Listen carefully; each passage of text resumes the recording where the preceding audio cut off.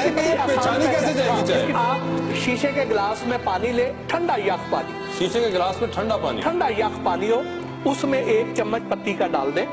और अगर उसमें वो पत्ती अपना रंग छोड़े तो आप समझ जाए कि वो पत्ती नकली है।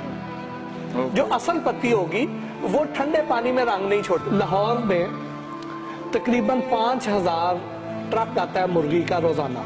अच्छा। तो ऑन एन एवरेज हर ट्रक में से कोई पंद्रह से बीस मरी हुई मुर्गियाँ निकलती हैं। अच्छा। अब वो जो मरी मुर्गियाँ हैं उनको मरी मुर्गियाँ नहीं कहा जाता उन्हें ठंडी मुर्गी कहा जाता है। कोड नेम है उसका ठंडी मुर्गी। ठंडी मुर्गी। अब वो ठंडी मुर्गियाँ अलहदा सारी इकट्ठी होकर उनकी बोली लगती है। वो भी बिकती है?